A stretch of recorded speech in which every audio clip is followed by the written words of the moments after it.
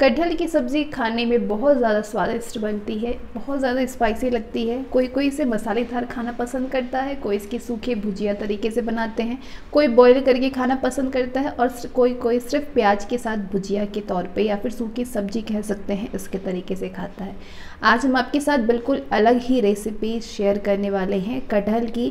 कटहल को अगर आप इस तरीके से बनाते हैं तो बहुत कम समय में बहुत ही टेस्टी सब्ज़ी बन करके तैयार हो जाएगी, जिनको कटहल बिल्कुल बिल्कुल भी नहीं बनाने आती होगी, वो भी बहुत ईजिली इस रेसिपी को बना सकते हैं, बहुत ही स्वादिष्ट। इसके लिए हमने यहाँ पे कटहल लिया है। कटहल को हम काट चुके हैं। कटहल गोल गोल से मार्केट से ही कट करके मिल जाते हैं। अगर नहीं मिले तो फिर भी आप कटवा सकते हैं।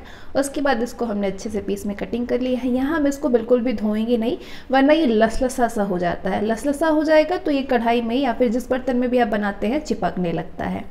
अब हम कुछ मसालों की तैयारी कर लेते हैं। इसके लिए हमने एक बड़ा सा टुकड़ा लिया हुआ है जावित्री का। चार लौंग है, एक छोटी इलायची हरी वाली है, एक बड़ी इलायची है सब्ज़ी वाली। यहाँ हमने एक बड़ी चम्मच गोल मिर्च लिया हुआ है। इसके बाद चलिए एक चम्मच हम ज़ीरा भी ले लेते हैं। इन मसालों से बहुत ही ज़्यादा स्वादिष्ट ये तैयार होगी।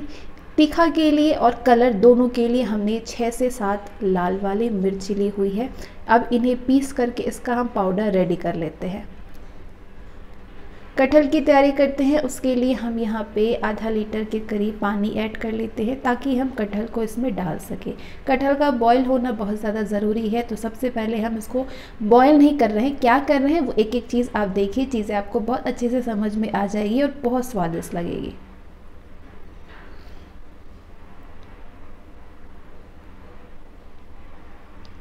पीस करके जो हमने मसाले तैयार किए हुए थे, बस वही मसाले हम यहाँ पे ऐड कर रहे हैं। कुछ भी एक्स्ट्रा नहीं डाला हमने। ये एक बड़ी चम्मच धनिया पाउडर है, जो कि बिल्कुल होममेड है ये। दो चम्मच हल्दी पाउडर ये भी होममेड है। स्वाद अनुसार नमक, सीधा नमक हम खाते हैं तो खाने में सीधा नमक का प्रयोग करते हैं। अब इसे गैस पे चढ़ा करके पानी को पहले हमने गर्म कर दिया था, उसके बाद इसे डाल करके पूरे मसाले ऐड किए। फिर इसको हम अच्छे से मिला रहे हैं। मिलाने के बाद इसको हम कवर कर देंगे। ये 15 से 20 मिनट तक लो फ्लेम में एकदम बढ़िया से पक जाएगा, बॉईल हो जाएगा। 15 से 20 मिनट बाद बीच बीच में आप इसको खोल के चेक करते रहिएगा। कहीं अगर पानी बिल्कुल अगर सूख जाती है तो एक्स्ट्रा पानी ऐड कर दीजिएगा, वरना ये कढ़ाई में चिपक के पूरी तरीके से जल जाएगा और पूरा कटहल आपका ख़राब हो जाएगा। तो चेक ज़रूर से करते रहें।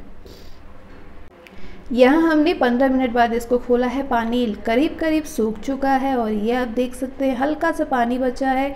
गैस को हम ऑफ़ कर देते हैं क्योंकि हमारी कटहल बॉईल हो चुकी है, मसाले भी काफ़ी अच्छे से घुल मिल चुके हैं।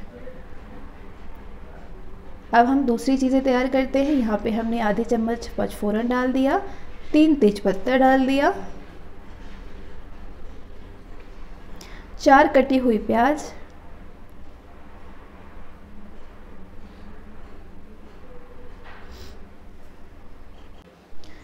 प्याज को हम गोल्डन ब्राउन करेंगे।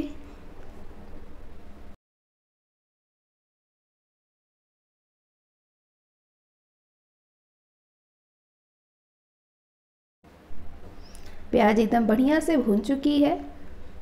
अब इसमें हम कटहल मसाले जो तैयार किए हुए हैं, वो डाल दे रहे हैं।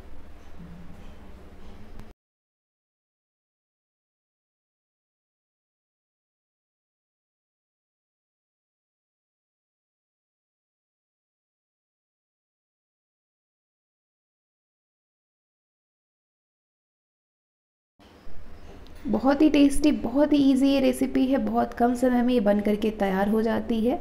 बहुत अच्छे से मसाले को हमने एकदम बढ़िया से भुना हुआ है। पहले से ही बॉईल भी हो चुकी है और इसको प्याज के साथ, कटहल के साथ अच्छे से भून दिया, जिसकी वजह से इसका स्वाद और भी ज़्यादा बढ़ गया है।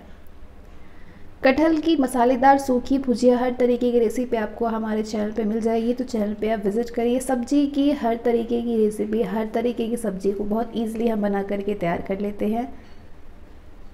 यहाँ हमने एक गिलास इसमें पानी डाल दिया है, क्योंकि हम थोड़ी सी इसको रसेदार भी बनाएँगे और थोड़ी पानी की ज़रूरत भी है। और अब इसे हम ढक देंगे एक से दो मिनट मीडियम फ्लेम में। फाइनली हमारी सब्ज़ी अब इसको अच्छे से सुखा देंगे और ये बन करके तैयार हो गई है।